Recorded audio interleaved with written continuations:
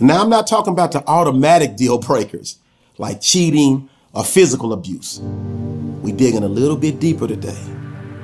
But one sign that you may need a new significant other, one sign that you may need a new mate, is when their needs always come above yours.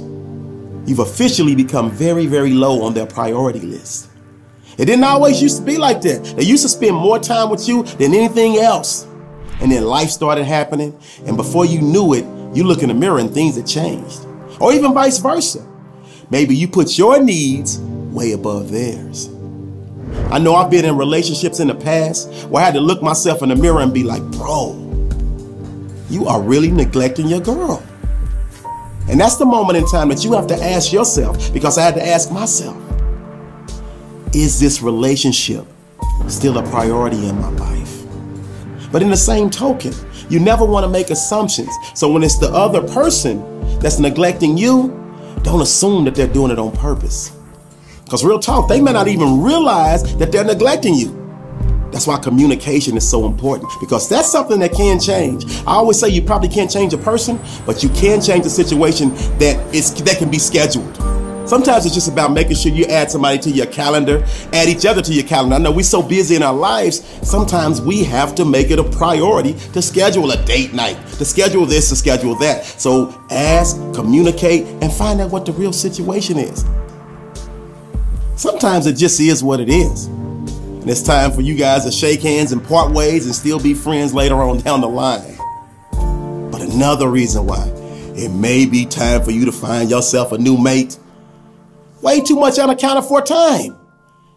You can't get in touch with him. You can't get in touch with her. They used to call you so much they got on your nerves.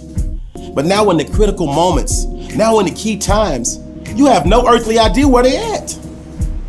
And so it's crazy because when somebody goes out of town on a business trip or whatever the case may be, and you don't speak to them for two or three days straight, and you're trying to call, call, call, call, call, mm, you have yourself a problem, my friend. Somebody's out, they say they're going out to the club with their homies, or they friends, they partners, girls, or whatever the case may be. You can't get in touch with them? Mm. Walks like a duck, quacks like a duck, just might be a duck. Now, I'm not saying that they're cheating, but I'm saying that they're probably cheating. But you don't have proof. So communication and conversations have to be had. And for today, the third reason it may be time for you to find yourself a new mate is you finally realize that you've been settling. Yep. They have vices or they live in a way that does not align with your values. And you knew they had them when you first met them, but you thought you could change them. I keep telling you, you cannot change a person. People do not change on your terms, they change on their terms if they ever change. But that's beside the point. What once was a small issue has now magnified tenfold. Had one of my friends call me one time, and no disrespect to anybody that smokes, it's all good. But he knew he would never be with somebody that smoked. And he tried to be in a relationship with someone that smoked.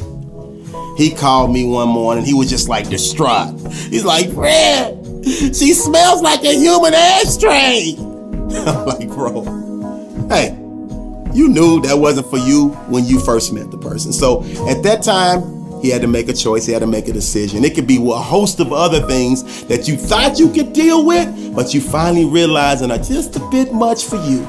So again, Communication is the key. Conversations have to be had. And here's my deal. If a relationship needs to end when it should end, it's better for you to end it now than letting it stretch out three, four, five, six, seven, eight, nine, ten years. And it finally comes to an end and you guys are all mad at each other and you're disgruntled and you hate each other. If you have conversations now and communicate, then you can mutually part ways in a peaceful manner. And thus, you create a win-win situation. And that's what we all about here. In relationships, personal, family, business, it's all about win-wins. Because this is a great day to win. So let's find a way to make each and every day of our lives a WINSday. Now do me a favor. Go be great and elevate.